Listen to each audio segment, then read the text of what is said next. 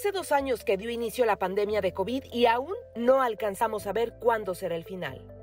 aquí estamos este, dando la vacuna de Pfizer, la primera, segunda dosis y también la vacuna de refuerzo. Ah, es importante que se vengan a vacunar si no se han vacunado ya, um, para poder que, si sí sale positivo de COVID pueda que sean los síntomas más, menos severos.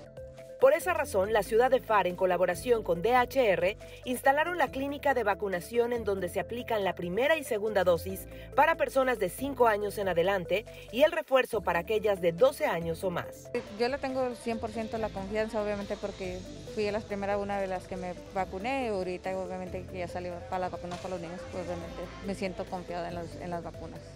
Con las nuevas variantes que se propagan rápidamente, muchos están aprovechando las vacunas gratuitas para protegerse a sí mismos y a sus seres queridos de este incierto y cambiante virus.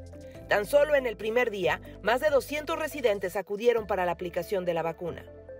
Es súper importante que pensemos en los niños. Esta es una enfermedad que a todos nos agarró como que pues de bajada y este y sí bueno a lo mejor todos podemos tener dudas y así pero yo creo que lo más importante es que es la, la certeza de que ellos están seguros. El doctor Roberto Martínez oficial médico en jefe de DHR habló sobre la conciencia que espera de la comunidad.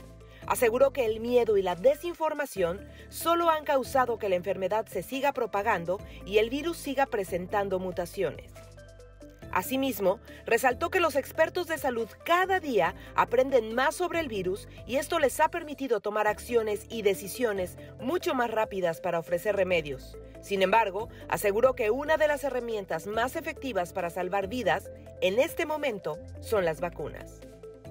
Si usted desea aplicarse la vacuna, el sistema de salud DHR junto con el Departamento de Gestión de Emergencias de FAR la estarán administrando de martes a viernes de 9 de la mañana a 8 de la noche. Solo debe presentar una identificación y las puertas están abiertas para todos los residentes del Valle de Texas. It is imperative you do your part as well. Please think of yourself, but also think of the people around you. We need to protect everyone. Come out. We'll be here waiting for you at the Far Event Center.